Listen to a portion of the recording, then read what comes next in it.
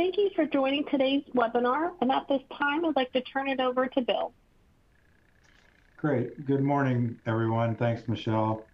Um, my name is Bill Heaven. I'm a Senior Director here at HBK, and this is welcome to our monthly risk advisory webinar series. Um, this morning, we're going to talk about the uh, Verizon data breach um, investigations report, which is an annual report that comes out. It's one of the webinars that I look more forward to than the others to putting together because it's always uh, a lot of inf useful information. That's I learned something myself putting this thing together for you all. So um, I'll get going on this. So here's our agenda for this morning.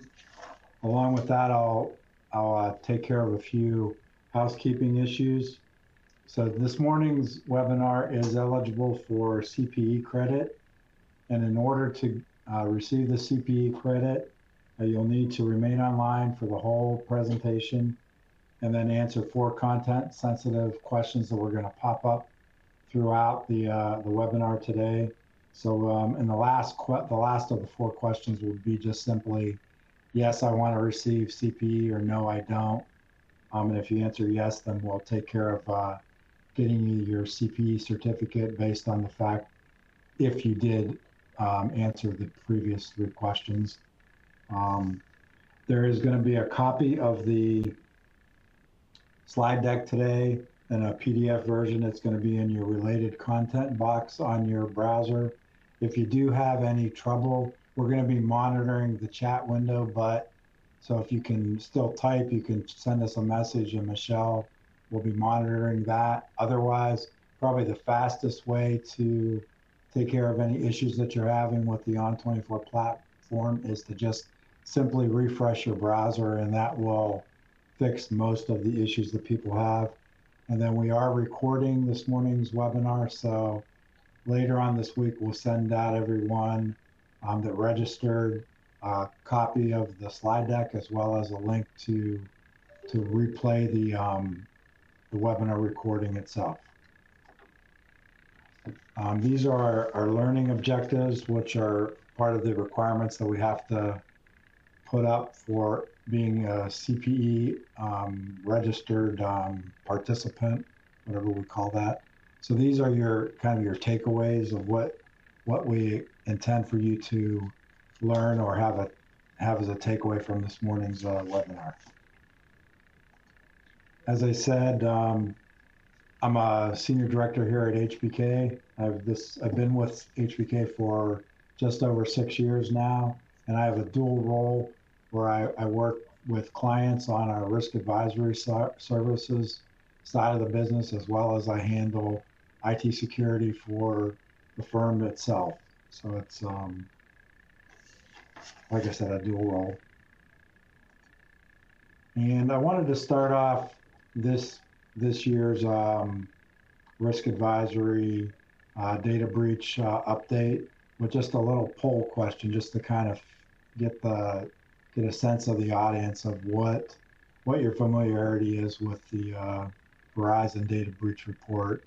So if you wouldn't mind answering these questions, could be like, I, I think it's Christmas Eve when uh, before this thing's issued, or I've never even heard of it before. So if you can uh, give me a, quick answer on the polling question, and then we'll get into some of the deeper content.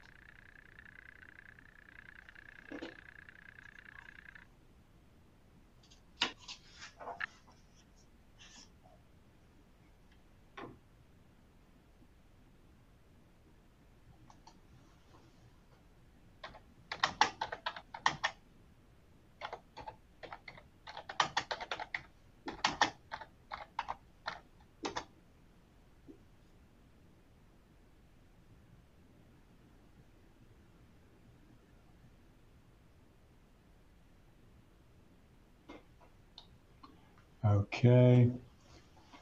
So as I looks like um, looks like we got a number of people that are about 80% are, are familiar with it. Um, some are, are not, but um, we've got uh, pretty good representation there. It's kind of what I expected.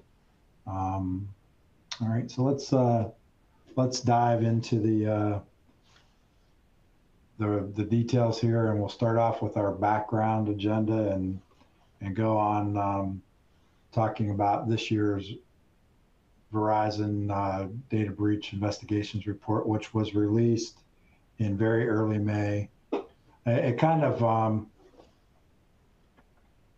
is that I'm seeing a Q&A with the volume. Can you hear me better now? Um,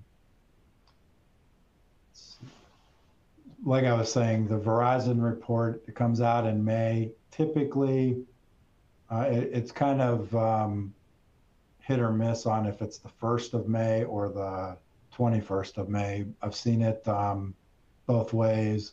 Last year was a little later. This year was a little earlier, but um, that does come out every year. And um, this, as a matter of fact, on some details, this is the um, 17th annual edition of the report.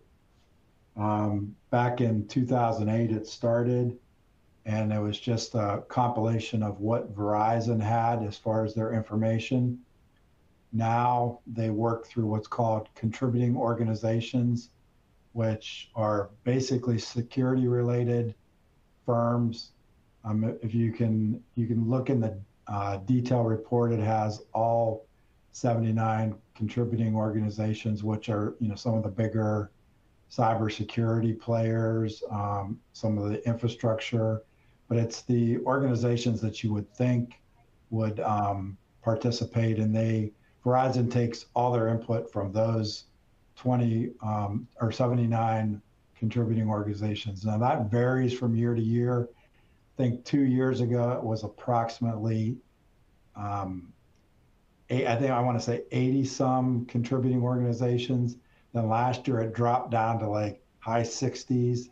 And now this year it's back up to 79. I'm not quite sure what the rationale is for the flexibility there, but it does move from year to year. Uh, but there are some stable um, contributing organizations that are in there year after year. I know there's a forensics firm that's uh, headquartered up in Cleveland that they've been doing it for like eight years in a row now. So for some reason, you get some new and additions and subtractions every year, but uh, I think a lot of them are the same. The report does break everything down into 20 industries that are governed by the NAICS code, and we'll talk about that more. And also go on some of the uh, definitions here of Verizon's definition of incident versus data breach. The, this year, the 2024, over 30,000 incidents, which translated into, by the definition, 10,626 confirmed breaches. So that, um, I think that was last year's report was somewhere in the neighborhood of 10 to 14,000 incidents and only 5,000 breaches. So that's partly a um, factor of there was less contributing organizations last year. So this year's population obviously is a bit bigger, but that those numbers will vary. And I'm going to go into some details in the next few slides talking about the industry classification and then the definitions of how the reports um, architected. So for those of you that want to get CPE, here's our first question. So I'll just um, give everybody 30, 40 seconds to, uh, to update that.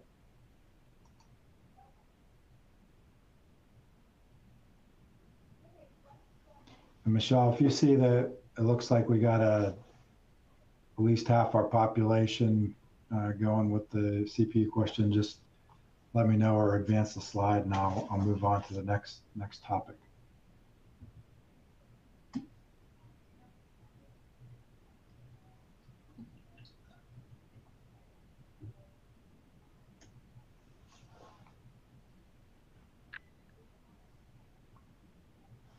Okay, thanks. So now we're going to dive more into the, um, like I said, how the Verizon data breach investigations report is is put together every year. So Verizon came up with their own, I'll call it a classification system. Um, and they wanted to do this so that they could have some consistency from year to year. as far as so people can compare, you know, what happened last year versus what they saw the year before or the year before that. So they've come up with something called the VERIS, which is uh, um, V-E-R-I-S, which is an acronym for the vocabulary for event reporting and incident sharing. And as you can see, it's got eight categories from denial of service through a catch-all of everything else.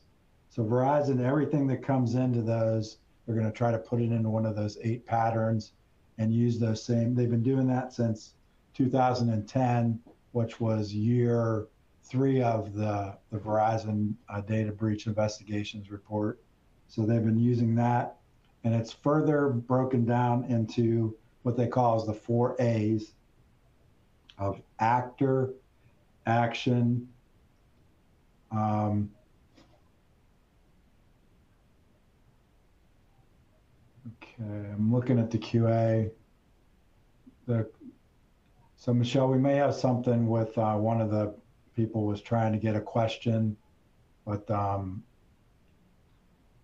that's about a looks like about a minute ago. So I, if we can follow up with you, Karina, if there's a problem after the fact, but um, we'll make a note of that. So talking about the four A's of actor, action, asset, and attribute. So the actor, and again, if you want details on this, I'm going to talk about in the next few slides how to get a copy of your of the Verizon 2024 report. So it goes into great detail, and they have like a page on each of these four attributes. But the the actor is just basically who most likely it's going to be the threat actor, like who's doing the bad guy things. Um, the action is like the the pattern that they're going to use, and in the report it talks about um, top patterns of like based on industry. So like this industry is more susceptible to social engineering, or this other is more susceptible to ransomware or business email compromise or privilege misuse or going back to the eight patterns of the um, VERIS. Um, and then the asset is like what they're going after, and it'll tell you by industry, like what's most commonly stolen. Like retail might be credit card information, or it's going to vary from year to year. And then the um, the attribute is like what down to the nuts and bolts of uh, data security, the what's called the CIA triad or confidentiality, integrity, availability, the big three, as far as like what we want to keep keep up and running so that we have access to our systems and our data. And then, so these are the going into some of the details of what the definition of these eight um, VERIS categories of what uh, Verizon considers their definitions for DOS denial of service attacks. You have lost and stolen assets, um, privilege misuse. So you can like those are basically when you talk about credential theft and um, miscellaneous errors, not including lost devices, but are grouped with theft. So those are the first half of the uh, categories or patterns. And then the second half being social engineering, system intrusion, web application attacks, and then our catch-all pattern, pattern or category. And then, like I said, if you remember from when I first started talking, we had 30,000 plus incidents and then only 5,000 and some confirmed breaches. So that's based on our definition of incident, where it's talking about the compromise of, again, this is the CIA triad, um,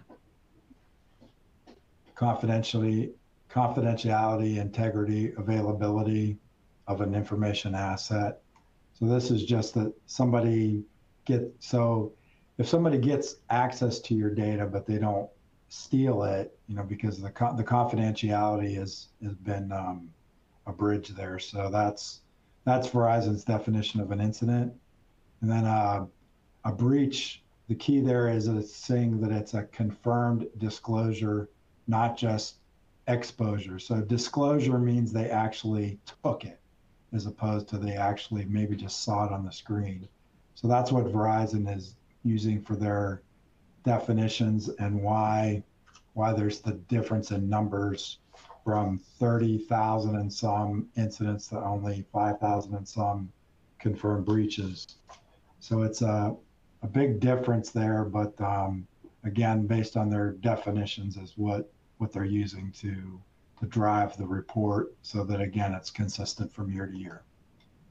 Now there's, I talked about the, uh, the NAICS code, which is used by a lot of industries. Primarily, it um, it got its basis in um, being used by Canada, Mexico, and the United States, but but it's being attributed to globally here as the Verizon report is definitely a global report, and you can see that if you get the the true version because it's going to give you some details on these specific industries. It's going to give you information and it gives you a nice um, synopsis that talks about for each the industries that they highlight, not all 20 of them, but the ones they highlight. It'll give you a nice table talking about the free the frequency, how many of those incidents were um, applicable to a particular industry. Um, talks about what the actor motives, and we're going to talk about some of these on some upcoming slides. But um, gives you a little summary, what's the same, what's different. So again, I recommend that everybody, you know, take advantage of this this resource, um, being that every one of us should be looking to protect our systems and our data. So you, you need to start with the risk assessment and this Verizon report gives you um, some background on based on your industry or your um, you know it, it can give you some things to use as inputs to your risk assessment report which we'll talk about a bit later. But um, you know it, it's good uh, and i'll i'll defer to, to the later section. We'll talk more about risk assessments but the verizon report does give you a lot of good information.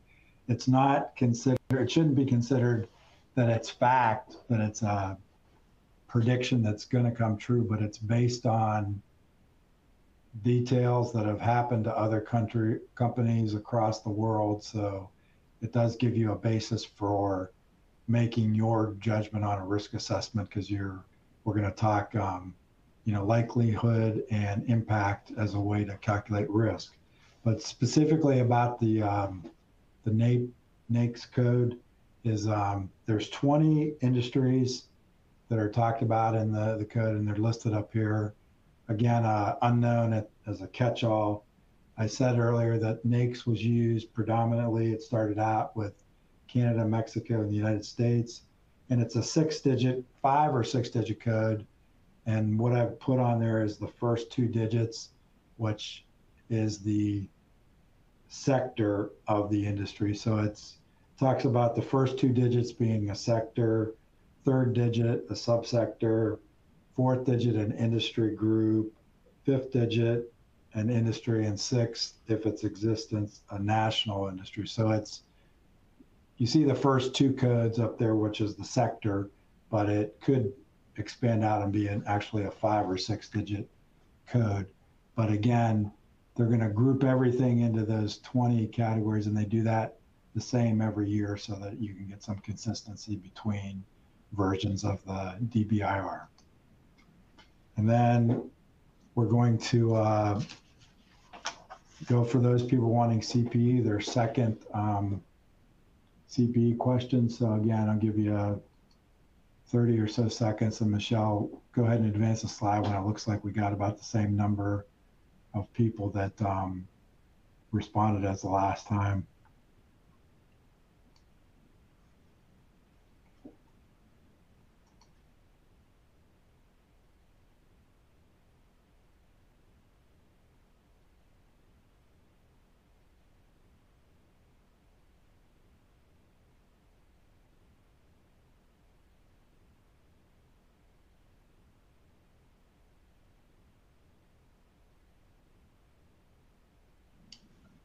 Okay, thanks, Michelle.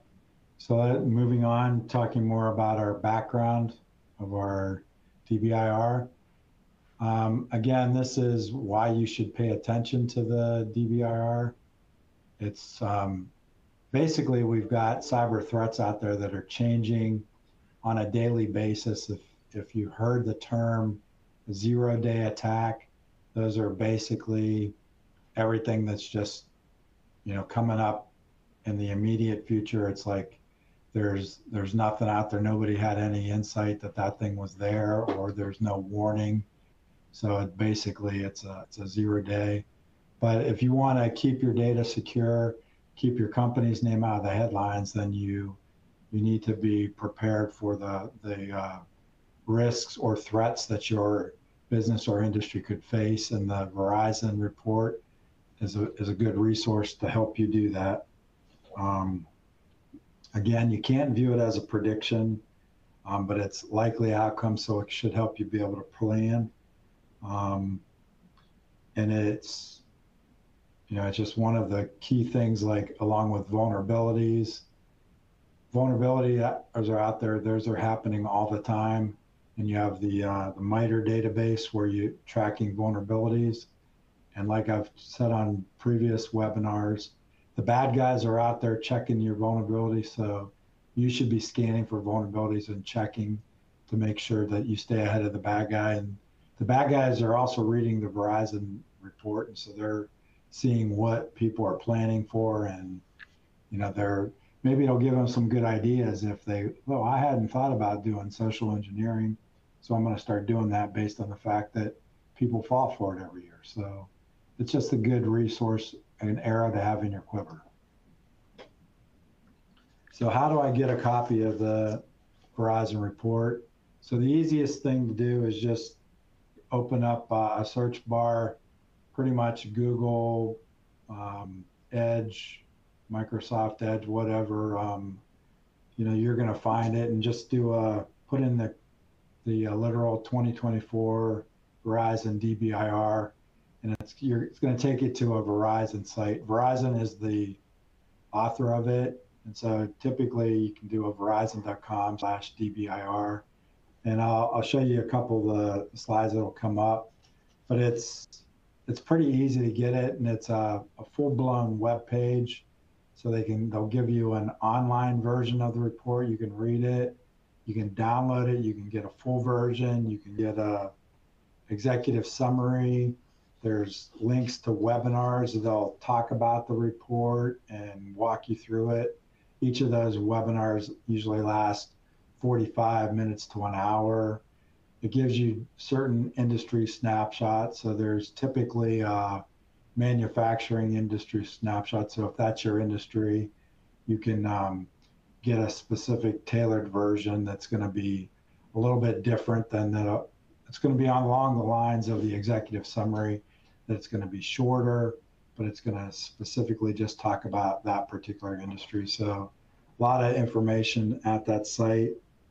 Um, now I know that this year's full version is approximately 100 pages and gets into a lot of details. Like I said, it talks about the VERIS four actors and gives you definitions there. Um, talks more about some of the industries goes a little bit deeper diving, or the executive summary is only about 17 pages this year, but that's about pretty pretty consistent. So, but you can get, and it's free, and it's I'll, the next couple of slides will show you some of the um, what the screen looks like, but it's basically going to ask you for um, you can re- review the report online or download it. Um, it's going to all you have to do is you're going to have to put in your name and your email address and they aren't going to they're not going to bug you terribly but they are going to bug you. You're going to get a couple of emails saying like they're going to try to say do you want to talk to us about cybersecurity services? I've never responded to one of their emails and i still get to download the report every year but uh, you will get a handful of emails and then can, if you're interested in learning about what they're emailing you about, go ahead and respond affirmatively, or you can just basically um, fall through and and ignore it, and nothing nothing terrible is going to happen. So you, it's up to you. Now let's talk about some of the key takeaways from the 2024 report.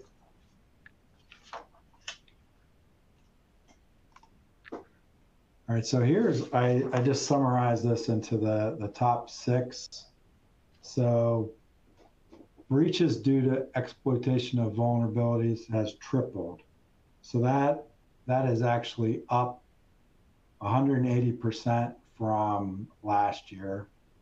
Now, ransomware by itself was about 23% this year, which is right around the same as it's been for the last two years. Ransomware has been holding right around 25%. So this year, specifically, it was 23%, but Verizon has grouped that together with extortion techniques because that's basically what ransomware is. And, so, and it also reflects some of the enhancements that the uh, ransomware pirates have started to do, where in addition to encrypting your data, they basically steal your data and um, take it, and then they threaten you with, we're going to publish it. So it's extortion comes up with about 9% of the total. So you have the 9 and the 32 coming up with the 32% of breaches are either ransomware or extortion. And the reason why the the pirates or the ransomware pirates have um, moved to that approach, it's because they weren't people weren't paying the ransoms because they they had a good enough disaster recovery incident response that they could go back to a, a good backup and they wouldn't pay for the uh, the encrypted code because the things you have to keep in mind with ransomware is when once you so basically first off you're dealing with a, a bad person that's probably not the most ethical in the world so how do you know that they're going to unencrypt your data if you pay the ransom or how do you know that they're not going to just hit you with another ransomware attack in like a week or a day, and you're going to be back in the same boat. So a lot of people were just beefing, beefing up their processes and procedures and coming up with a good incident response and making sure they had an immutable backup that wasn't going to get corrupted by the ransomware and they could rely on it.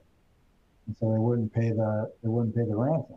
So then the ransomware pirates got the idea that well we'll just embarrass them with some of their data, getting it out there. So we'll we'll do a multiple thing. We'll encrypt it and we'll publish it and embarrass them. So that's why one of the reasons why Verizon turned it into ransomware and extortion. But together, they're um, totaling 32% of all breaches. And point key takeaway three is a, is a big one here. The ransomware is a top threat across 92% of those 20 NAICS industries. So virtually everybody is dealing with ransomware. Um, some of the statistics that the DBIR was able to put together is that the average ransomware payment is $46,000 um, as of 2024. So that may not seem like a lot for now the range is, is kind of uh, questionable because it, it goes from a low of three dollars. So I'm not quite sure that makes a lot of sense to me. Like some somebody was able to get their data back just by paying three dollars, and the high end of the range was 1.1 million. So overall, everything averaged out to 46,000, which still I wouldn't want to have to come up with that kind of change to, uh, to get my data back. So it's still pretty deep. But what what they were able to find out more than that is that the, the ransomware pirates are kind of using a formula, which it goes from 0.13% to 8.3% of your revenue. So again, I've, I've been hearing about this trait a lot over the past few years where ransomware people are typically, if you go back to, if you've heard any of my other cyber presentations where there's a thing called dwell time, where dwell time is the amount of time that a hacker has access to your system before you know it. So they're in there for a lot longer than than you think they are in most cases. Uh, that dwell time, I haven't seen the 2024 stat, but last year, I mean, we're talking like seven to nine months that people sometimes have access to your system before you find out about it. So with that access, they're around and they, they poke around and they figure out, am I, am I working with a small business here? Am I working with a big business and what, what's their uh, fiscal health? So they, they kind of like toggle it to what they think they can get reasonably from you in, the, in that range of 0.13 to 8.3% of revenue. So you, you, you do the math on your own business. If somebody wants to get 8% of your revenue, you know, what's that going to equate to and how important is it for you to plan to uh, not be hit by a ransomware attack? Um, and, you know, that, that kind of helps bring things to uh, a reality point to, to work from. Um, other takeaways, human element, which is non-malicious errors. There's insider things which will be malicious, but so humans, whether it's clicking on a phishing email, which we're still doing quite often, and I think the stat in the report, I probably should have put it on here, but I think it takes less than 60 seconds for someone to click on a phishing link once they encounter it. So they're still clicking on phishing links. Um, so, but you've still got 68% of breaches are involving human error.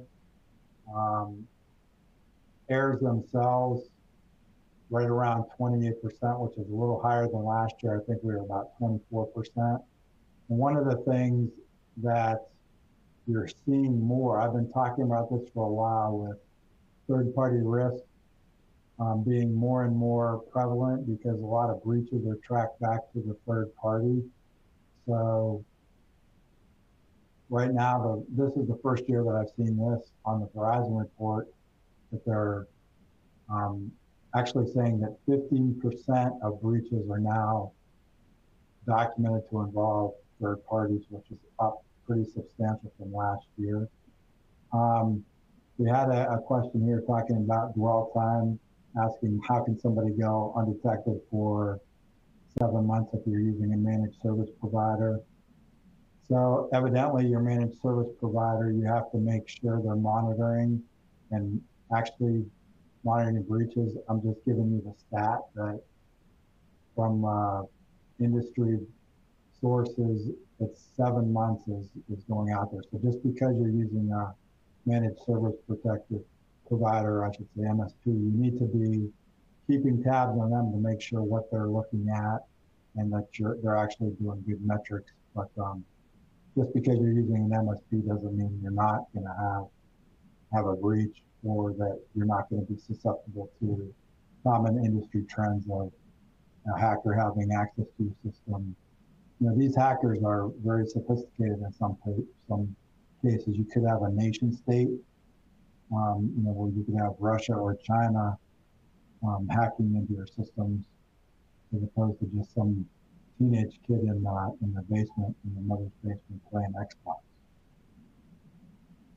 Moving on to some of the uh, industry highlights from this year's report is, and I just put on these six industries. Try to do this a comparison from year to year. The, the biggest um, attack vector or pattern is the system intrusion, um, followed closely by uh, miscellaneous error. Privilege misuse is big in healthcare. Um, social engineering is basically everybody's been everybody's getting hit by that with the exception of healthcare.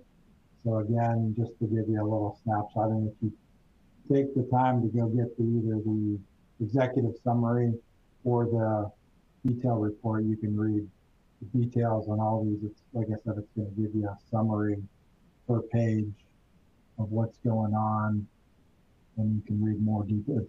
it's definitely worth a read to learn if there's what they're saying about your your particular industry. And then what the motivation is for why people are are attacking. And this continues to be pretty consistent from year to year where one of the highest reasons why people are bad people do this is because they're making money doing it. So you can see on those four industries, ranging from 95 to almost 100%, We're doing it for financial gain. Espionage, that has been dropping over the years, and this there wasn't anything showing up for the other categories which have showed up in previous years as a, a grudge. So that could be a disgruntled employee. Um, people doing it for fun, which that that has shown up in past years, but primarily in the 2024, it's been a either espionage or financial gain. And like I said, espionage has been dropping over the past few years, and it's down to in most industries almost nothing. With that, let's move on to our our next um, CPE question. And Michelle, once it looks like we're where we need to be, just go ahead and advance the slide for me.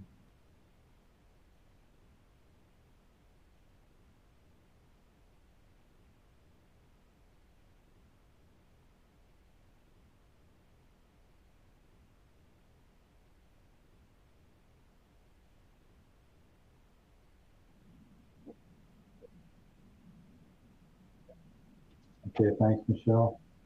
All right, so talked a lot about earlier about the risk assessment. And so, um, again, basically, all of us need to be performing risk assessments to understand what we're trying to protect. Because everything, it's, um, I like to, to talk about it as far as uh, scales, scale system, like imagine the scales of justice. You have on one side of the scale, you have, you know, the risk, and then on the other side, the cost of controlling that risk. And you have to, if, you know, make it equal out because you don't want to spend more money than you have to because the, you know, if your if your risk is that you might lose, say, twenty-five thousand dollars, you don't want to spend a million dollars on controls to protect that risk because it's you know you're you're way way way to the negative. So everybody has to understand what they're trying to protect, and you want to tie this back to your business strategy and make sure everything lines up with as far as your your risk. Um, so you have to do some homework and, and figure that out. And if you attended these risk um, webinars on a regular basis, We've talked about risk assessment in the past. Um, I know I most recently I did this in 2022. I'll probably refresh it and do a risk assessment um, webinar probably next year. But um, I break it into a five-step process. You can definitely use the Verizon DBIR when you're conducting um, as, as part of that five-step process. Step two is specifically identifying risks, and then step three is analyzing those risks. So the Verizon report is going to help you to identify the risk as well as see how predominant it is for your particular industry. So again, it would help you with your risk calculation where you do just a simple math equation to do your um, impact versus likelihood. So you might have a risk that's very likely, but again, it's not going to cause you much impact. You can have the um, the opposite of that, where you have a very, very impactful risk, cost you millions of dollars, but very much a black swan type event that's not going to happen very often. So you just have to plan accordingly. Uh, but you can do a search, find one of those risk assessment webinars from the past if you're interested, or I guess I am probably going to refresh that for next year's um, risk assessments that we do. And then we'll talk a little bit about risk mitigation because that's the whole thing again is you want to basically you're never going to get to zero risk but you want to be able to stay as low as possible on that risk um, equation and figure out what's what's left after you've mitigated the risk and is that an acceptable level to help your business achieve your goals. But again, the Verizon report and the detailed version goes deep into this. I'm going to go through like the top three risk attack vectors patterns. We'll talk about the, the controls that you can put in place to mitigate those risks.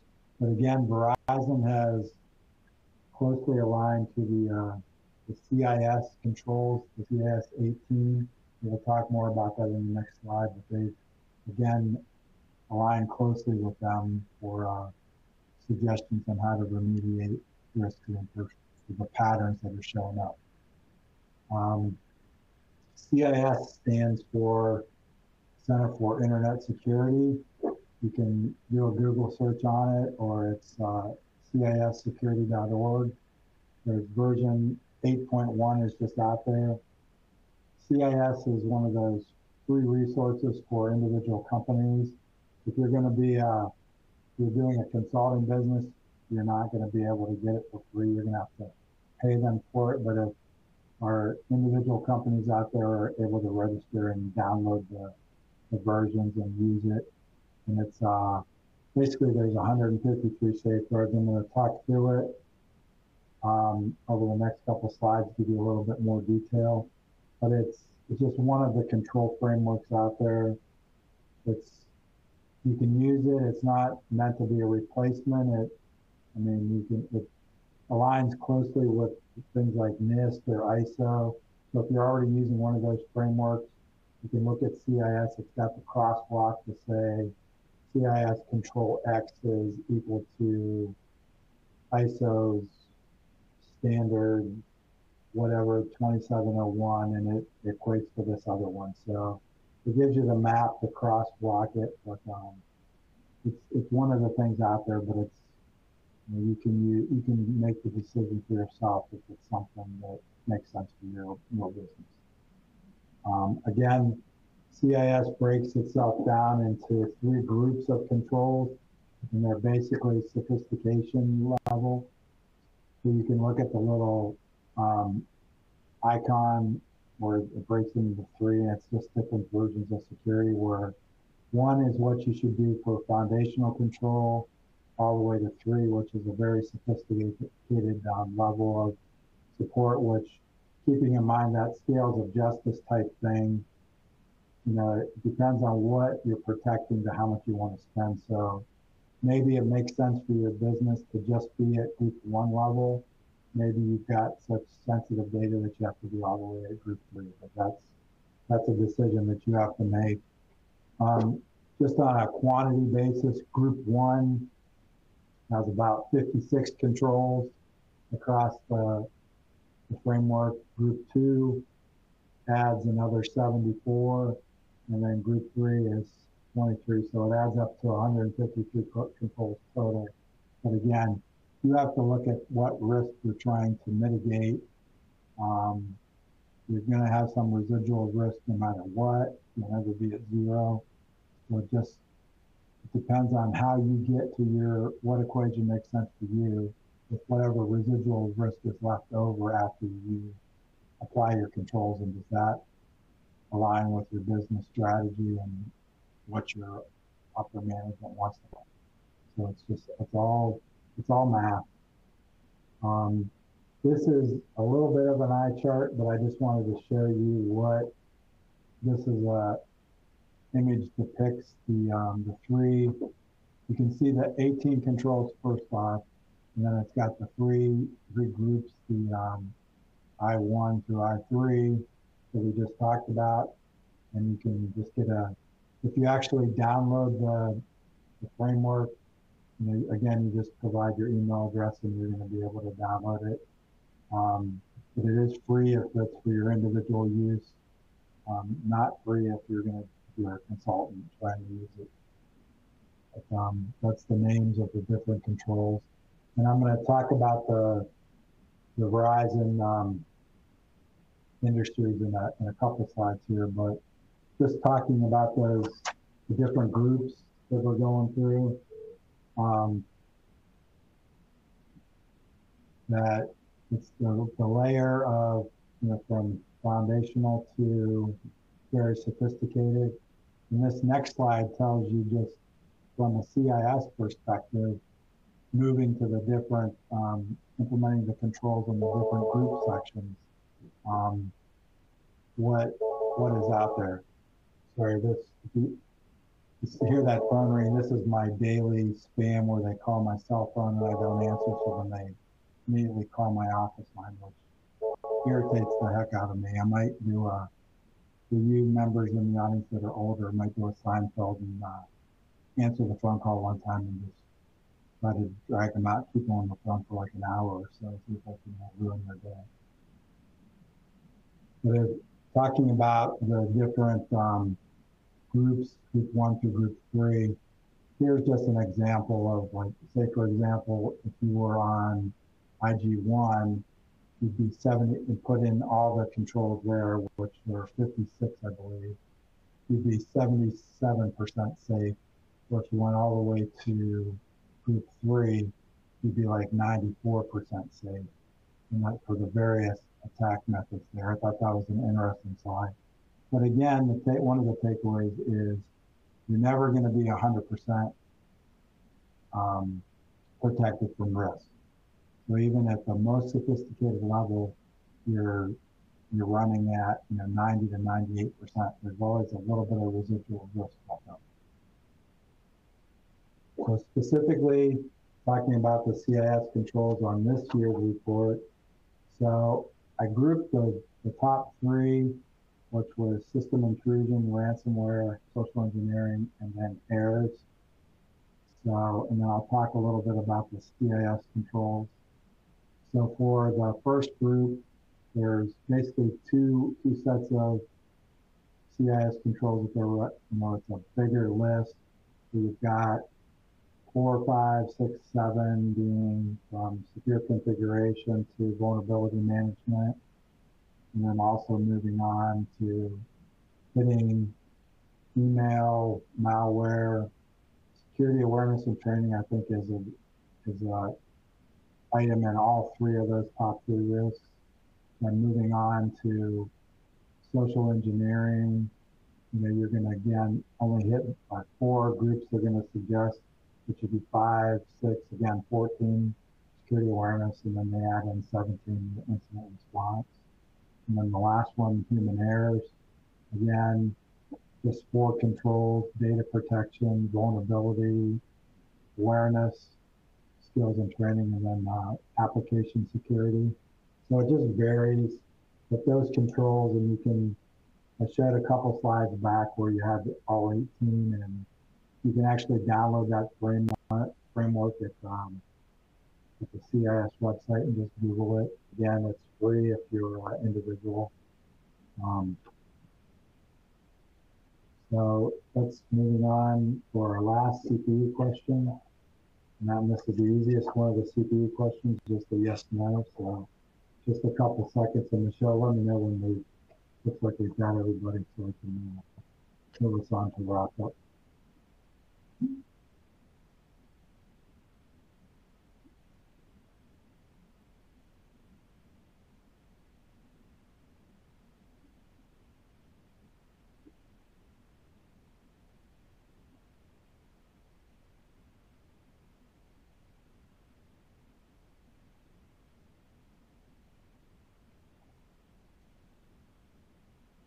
All right, thanks, Michelle. All right, so now let's uh, go ahead and um, do our wrap up, and we'll we'll go through and we'll got a few minutes left here. We can uh, see if we got any questions, and we'll address those questions as we as we um, as we encounter them. And if um, by any chance we don't get your question, we'll we'll respond to you after the fact by an email or a phone call.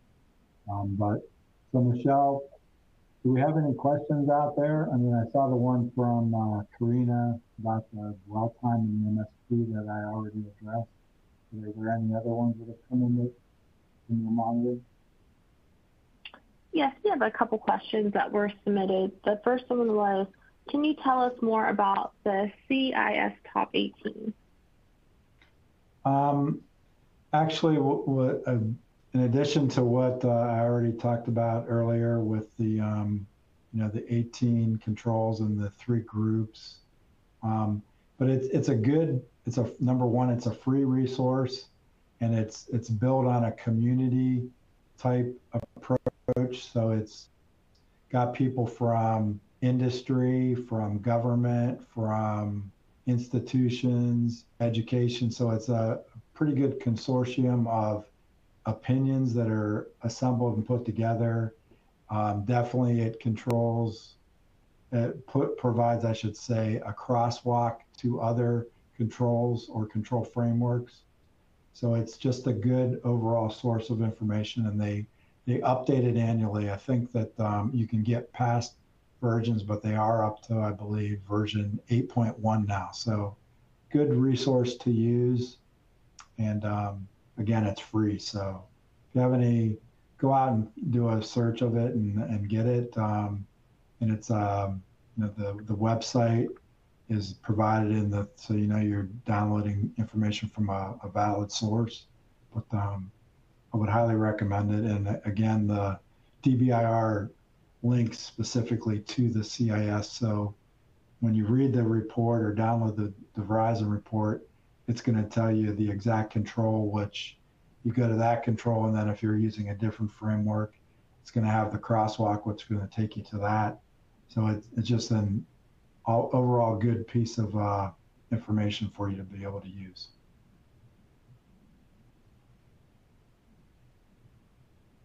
Any other questions, Michelle? Yes, we had one uh, last question. Someone put, what takeaway from this year's report did you find the most interesting?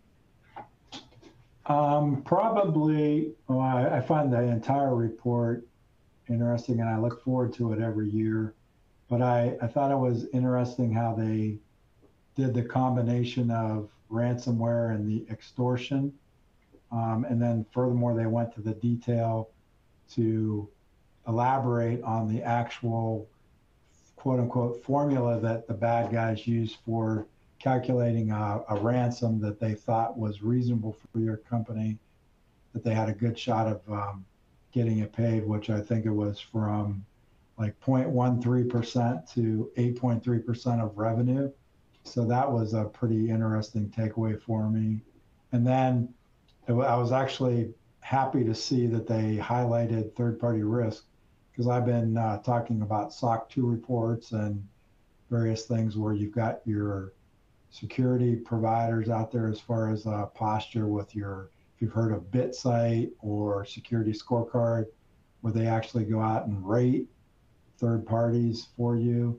Um, and I've been saying that's coming and it's going to be a bigger and bigger thing because all the way back to the Target breach, where if you remember the Target credit card breach, which was the cause of a third party, you know, saying the warning that third party is a big risk, third party is a big risk. And finally, I get to read in the data breach investigations report how third party breaches have jumped up exponentially and it's now, you know, a topic of a key takeaway in the Verizon report. So that was that was um, very interesting to me. But um, again, free resource on the CIS, free resource on the Verizon DBIR. So if you're not one of the people that read it, you don't have to read the 100 page report, but just download the um, executive summary. It's a quick read, about 17 pages, gets the high points, and then you've got the option of downloading a industry specific report, you know, to line better up for your your particular company. So a lot of good free resources. And if you run into issues or questions, um, you can go ahead and you know reach out to me. My contact information's up on the slide right now. It's um, in the slide deck as well. You can call me or email me, and I'd be happy to uh, happy to give you some input or help you out. So again, um, thanks for attending. I'm assuming we're out of questions, Michelle. Yes. Okay. All right, so again, thank you for attending today's webinar. I hope you found it valuable and, and worthwhile.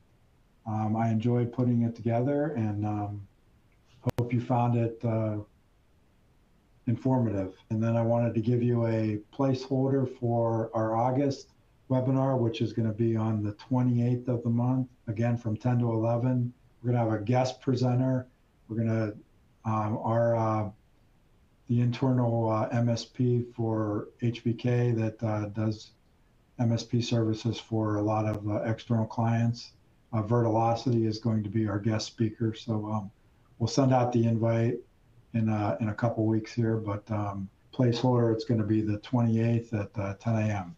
So again, thanks for attending today's webinar and have a great day and um, you know, stay cool.